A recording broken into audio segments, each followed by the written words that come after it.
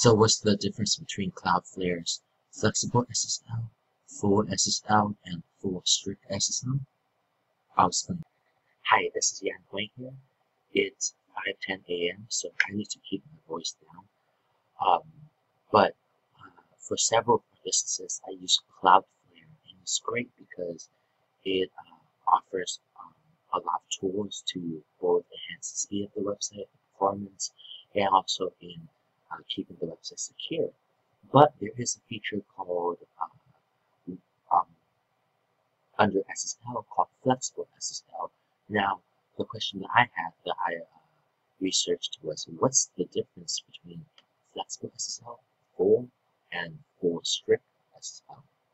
Um, in short, flexible SSL means that the data from your customer and your and Cloudflare is encrypted, but from Cloudflare to your web server is not encrypted.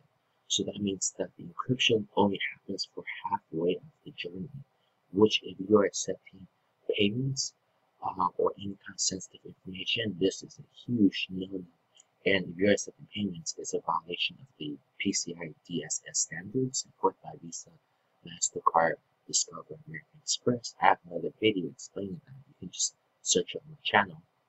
Um, and if you're in violation of this, you your business could be at risk of uh, getting some hefty fines.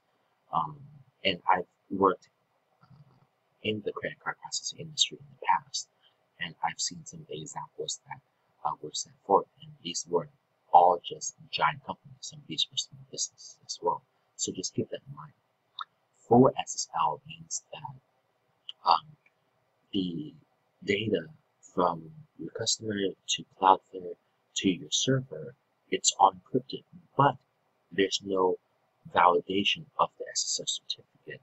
So that means that, if somebody maybe uh, hacks into your website um, or and gets access to the web hosting control panel or your server, they can generate their own self-signed SSL certificate, and that could pose some serious um, issues. Um, for strict SSL means that the transmission between your customer to Cloudflare and from Cloudflare to your web host is encrypted or your web server is encrypted as well as from your web server uh, it also validates with the certificate authority and the certificate authority is just a fancy term uh, meaning um, what provider of SSL that you've purchased it from. Um, and some of the popular SSL certificate uh, companies include Comodo, GeoTrust, Symantec, a lot of these businesses uses GoDaddy uh, SSL, which I highly, highly do not recommend, um, but that's uh, for a different video. Um, so in summary, if you're accepting any kind of sensitive information, you absolutely cannot use flexible SSL. Flexible SSL is nice if you just want to maybe um, uh, for you know if, if, if you are not collecting any sensitive information but you still want that uh, green HTTPS thing in the address bar. But other than that, you uh, you definitely full or full strict. Uh, the full strict is the one that I use for my um, businesses.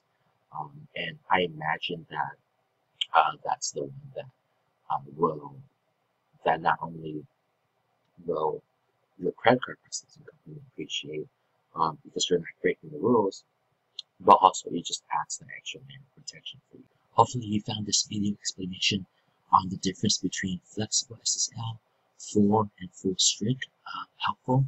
And if you have, please like this video, feel free to post in the comments below. Um, and as a side note, this is a very simplified explanation. Um, if we break down, there are additional uh, technical factors uh, contribute to each one, but for the purpose and intent of this video, I'll leave as that.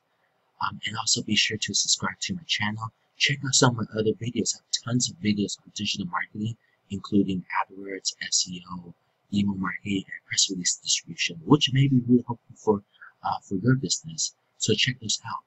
Um, thank you for watching and thank you for uh, subscribing.